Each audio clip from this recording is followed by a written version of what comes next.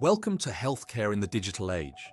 Today we journey into the complex world of digital health ethics, a crucial aspect of our rapidly evolving healthcare landscape.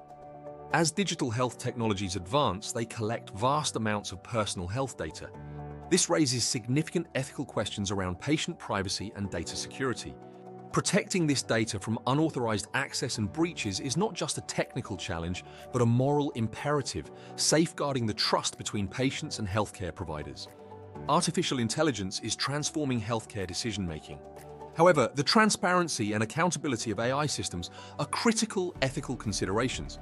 Bias in algorithms can lead to inequalities, impacting patient care and highlighting the need for equitable AI solutions. The digital divide presents a formidable challenge.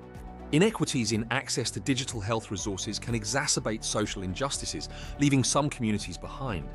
Ensuring equitable access to these technologies is essential for comprehensive healthcare delivery.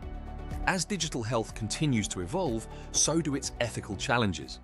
Addressing these requires robust policies and regulations to promote ethical technology use.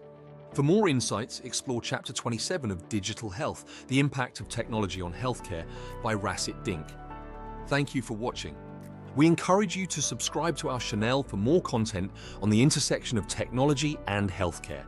Together, let's shape the future of healthcare.